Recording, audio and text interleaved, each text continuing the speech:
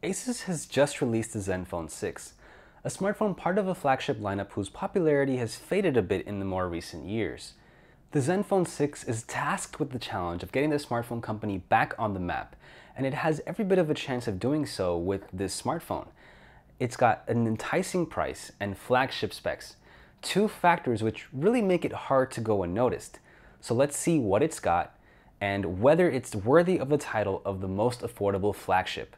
I'm Ricky with GSM Arena, and this is our review of the Asus Zenfone 6.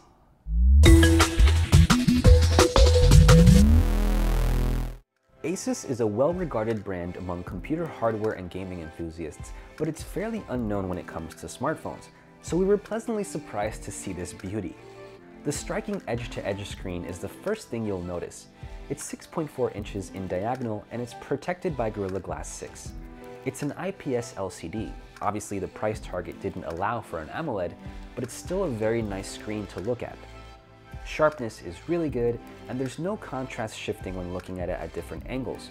Colors appear very vibrant even though color accuracy is only average regarding of which mode or color space we tried.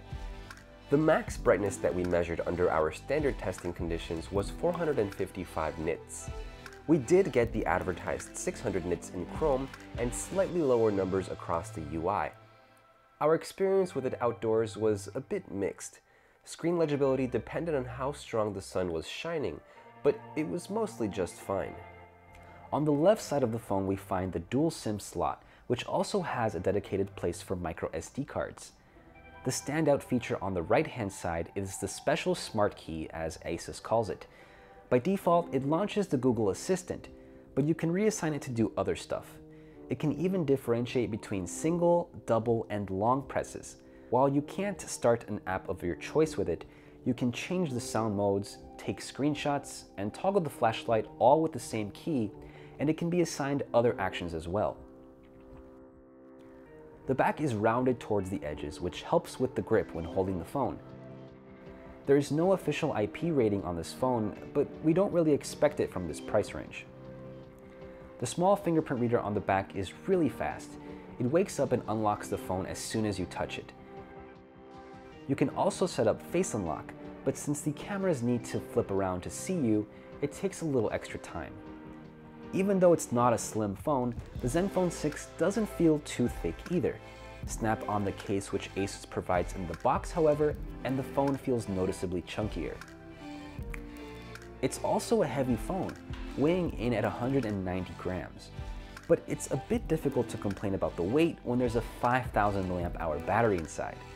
The Zenfone 6 puts all that battery capacity to good use, and it scored an endurance rating of 110 hours in our proprietary endurance tests. Best of all, we got 16 hours of web browsing out of it, and no other high-end phone can come even close to this result. For charging, you can rely on Quick Charge 4. The bundled 18-watt charger recharged 35% of the depleted battery in 30 minutes. A full charge takes about two and a half hours. The main speaker is next to the USB-C port at the bottom, but the Zenfone 6 has a second speaker at the top for a nice stereo setup. The speakers are not particularly good in reproducing bass, but they are quite loud. We gave it an excellent score in our loudness test.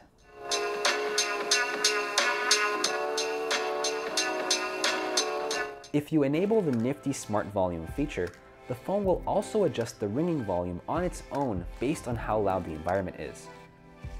We also get a 3.5mm audio jack, and once you plug in any headphones, you'll be able to access the built-in FM radio.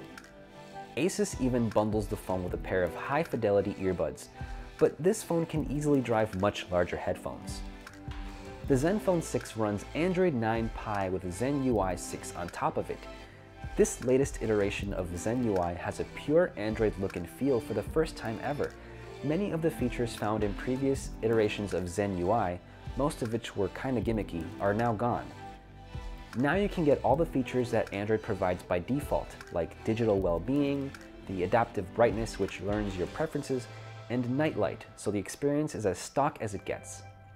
However, Asus engineers have optimized a lot of aspects under the hood with the goal so that the Zenfone 6 feels as responsive and as fluid as possible. You get gestures for navigating the UI, both the Google Pixel Pill navigation, as well as the more popular swipe from the bottom type of gestures, which replace the navbar keys. Whichever folder or app you open, the icons are all easy to access towards the bottom of the screen, and so are all system pop-ups. Asus has added a bunch of advanced features as well if you're into that level of customization, otherwise those settings stay out of sight when they're not being used. This phone lets you customize the status bar icons so you can decide which ones you want to see up there. You can control which apps start up with the system or run in the background. You can clean the memory and storage, control app notifications, and restrict certain apps from using mobile data. Although some messaging apps already do this, the private listening feature allows you to listen to your voice messages in chats by putting the phone to your ear. There is a new screen recorder too, which allows you to record your actions on the phone's display along with your own audio voiceover. Asus has even added the option to record your phone calls, something not natively supported by Android Pie. The Zenfone 6 is powered by the Snapdragon 855 chipset. Performance was great as expected. You also get a gaming mode which can block notifications to reduce distractions and you can record or live stream your gameplay. The phone would also recognize CPU intensive apps, which prompts you to enable a Zenfone Boost mode, but turning it on didn't make much of a difference in our benchmarks. Asus proprietary OptiFlex system will reduce delays in opening apps when the onboard AI picks up your app usage patterns. It works in conjunction with Android's built-in adaptive battery feature, combining the benefit of both optimization engines into one. The flip camera is definitely one of the highlights of the Zenfone 6. It's motorized and makes use of a rather complex gear mechanism, so the stepper motor can achieve varying amounts of torque and speed during the module's flipping action.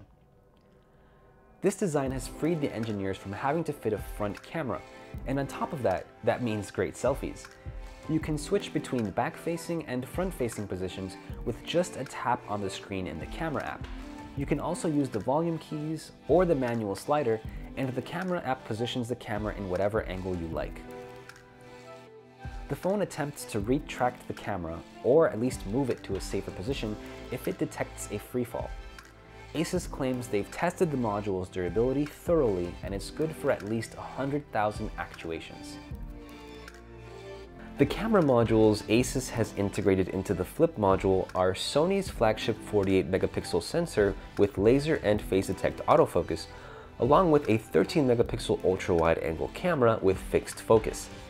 There is no optical image stabilization, but you do get electronic image stabilization for video recording. The camera lets you shoot in the full 48 megapixel resolution, but it's at its best when producing 12 megapixel photos. By default, the camera shoots with Auto HDR enabled, so all photos you see use that. We really like the resulting photos. They have nice colors, good contrast, very good dynamic range, and nice sharpness. The Zenfone 6 also has a more advanced HDR mode, HDR Plus Enhanced, processes photos differently. In fact, Asus told us that it's based on the same computational HDR technology that Google is using for the Google Pixel phones. HDR Plus Enhanced does take a few seconds to work its magic, but the images we took almost always looked better.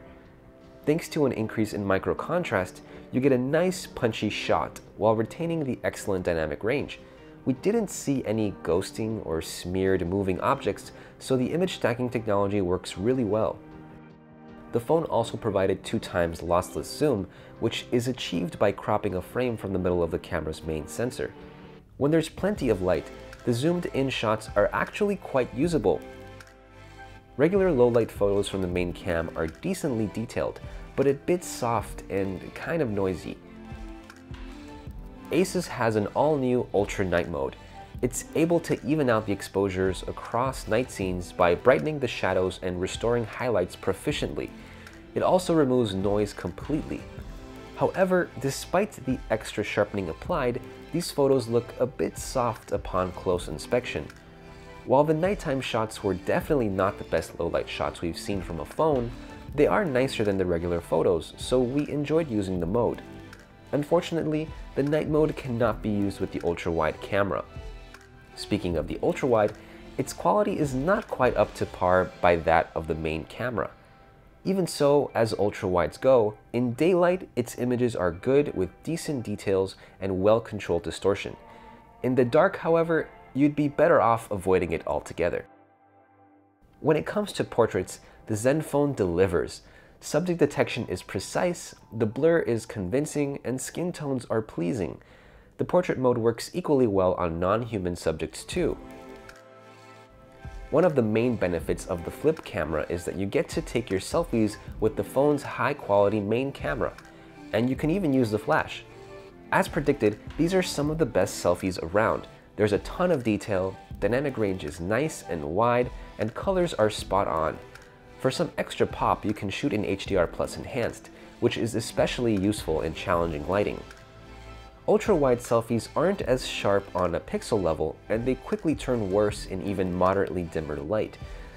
Even so, the ultra-wide will still be great for fitting a lot of people in the frame.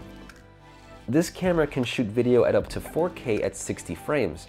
How's that for a selfie camera, huh? Video quality is great, there's plenty of detail, and noise is kept low. We're liking the colors, and the dynamic range is excellent too. And the video appears to be relatively well stabilized thanks to the electronic stabilization regardless of which mode you're using, all the way up to 4K at 60 frames per second. On the other hand, the ultra-wide camera can only record up to 4K at 30 frames. The footage is sharp and detailed, but a bit noisier than what you'd get out of the main camera. Top shelf chipset, tons of battery life, a nice looking display, and a really good performing camera with a unique form factor. There's a lot to get excited about in the Asus Zenfone 6. It does lack some flagship features like wireless charging, an official IP water resistance rating, and an in-display fingerprint scanner. But it comes with a unique flip camera, a 5000 mAh battery, a screen with super slick bezels, a customizable smart key, and the latest and greatest silicon from Qualcomm. It's an offer that's going to be hard to beat at an average price of around 500 euros. Sure, Many of us agree that an AMOLED screen would have made the Zenfone 6 a bit closer to smartphone bliss, but even as things stand, this phone is an easy recommendation. Thank you guys for watching, I hope you enjoyed this review, and let us know your thoughts on the Asus Zenfone 6. Leave us comments down below, like this video, and go ahead and hit that notification bell so you don't miss more videos like this one. I'm Ricky signing off for GSM Arena, and thank you guys for watching.